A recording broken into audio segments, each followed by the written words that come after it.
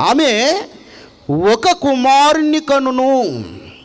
తన ప్రజలను వారి పాపముల నుండి ఆయనే రక్షించును.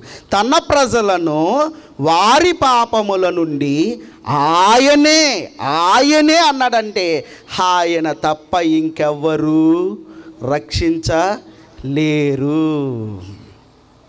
ఆయనే రక్షించును అని దూత ఏసేపుకు చెబుతుంది. ఇక్కడ ఇన్ఫర్మేషన్ ఏంటంటే గాంధీ గారు గర్భంలో ఉన్నప్పుడు గాంధీ గారు వాళ్ళ అమ్మగారి గర్భంలో ఉన్నప్పుడు ఇదిగో గాంధీ అనే మహాత్ముడు పుడతాడు. అతడు భారతదేశంలో స్వాతంత్ర పోరాటంలో ప్రాముఖ్యమైన పాత్రను పోషిస్తాడు.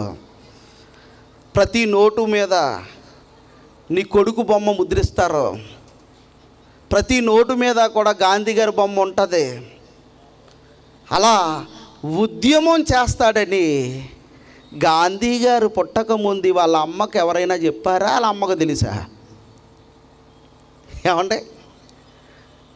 మహాత్ములు ఎందరో పుట్టారు కదా పుట్టినప్పుడు వాళ్ళ గర్భంలో ఉన్నప్పుడు వాళ్ళ భవిష్యత్తు ఎవరికైనా తెలుసా? ఇంకో ఇన్ఫర్మేషన్ చెప్పనా? గాంధీ గారి గర్భంలో ఉన్నప్పుడు వాళ్ళ అమ్మగారిని కూడా ఒక మాట అడగొచ్చి ఏంటో తెలుసా? అసలు అబ్బాయి పుడతాడో అమ్మాయి పుడతాడో ఆవిడకే తెలియదు తెలుసా? చోళాలి గర్భమందు ఏ రీతిగా ఎముకలు ఎదుగుతున్నాయో నీకు తెలియదు అన్నాడు. ఆడపిల్లలు ఎముకలు ఎదుగుతాయో మగపిల్లవాడి ఎముకలు ఎదుగుతాయో తెలీదు. తెలుసా? తెలీదు. అంటే మహాత్ములు పుట్టినప్పుడు ఆ తల్లులు ఎవరికీ కూడా ఇదిగో ఒక ఉద్యమాన్ని తీసుకొస్తాడు. ప్రతి నోటు మీద కూడా మహాత్ముడు బొమ్మ వేస్తారు. నీ గర్భాన పుట్టబోతున్నటువంటి నీ కుమారుడు నీ గర్భాన పుట్టబోతున్నటువంటి నీ కొడుకు భారతదేశ స్వతంత్ర పోరాటంలో పోరాడతాడు. అనేక మంది చేత పితామహుడిగా పిలువబడతాడు. అనేక మందికి భారతదేశానికి ఒక ప్రముఖమైనటువంటి పాత్రను పోషిస్తారని గాంధీ పుట్టక ముందు గాంధీ కోసం ఎవరో చెప్పలేదు.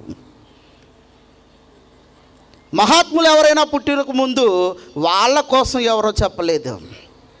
కానీ నా యేసు పుడుతున్న ముందు ఏమని చెప్తున్నారో చూడండి ఇంకా గర్భములో ఉన్నాడు ఆయన ఇంకా. గర్భములో ఉన్నాడో యేసు ప్రభు భూమి మీదకొచ్చి ఏ సాధిస్తాడో చెబుతున్నారు. చూడండి ఏమంటున్నాడు అక్కడ? ఆమె ఒక కుమారుణ్ణి కని కనును తన ప్రజలను తన ప్రజలను వారి పాపముల నుండి ఆయనే